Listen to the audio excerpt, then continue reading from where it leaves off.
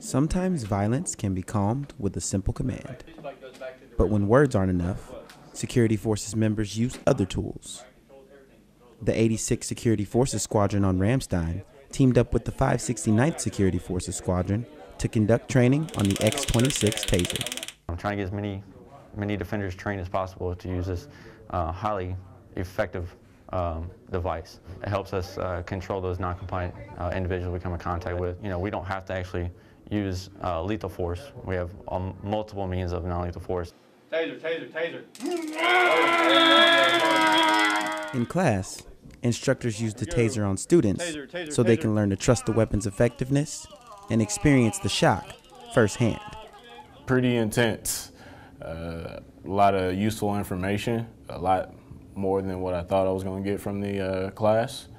Uh, when it came to the tasing, that's where it got real.